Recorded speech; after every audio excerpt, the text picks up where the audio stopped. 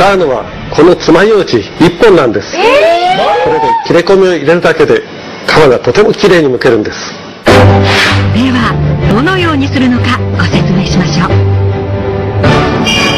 まず葉と先端を切り落とした大根を水洗いします。ここから爪楊枝を用意しこれを大根の表面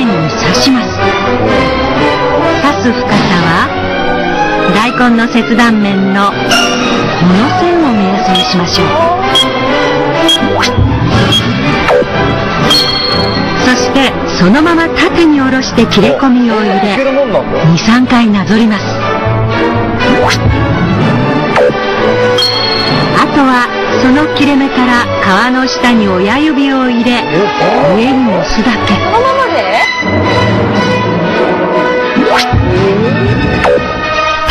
これだけの作業で。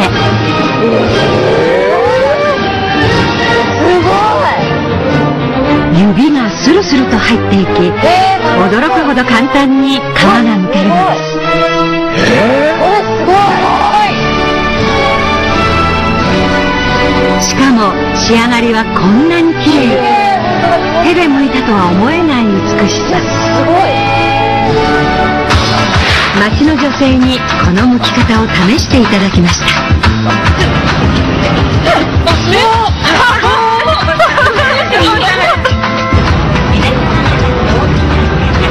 わかる。70だからこんなの初めてそれで早いじゃない。ベテラン奥様からも驚きの声が。ではなぜこんなに綺麗に剥けるのでしょうか。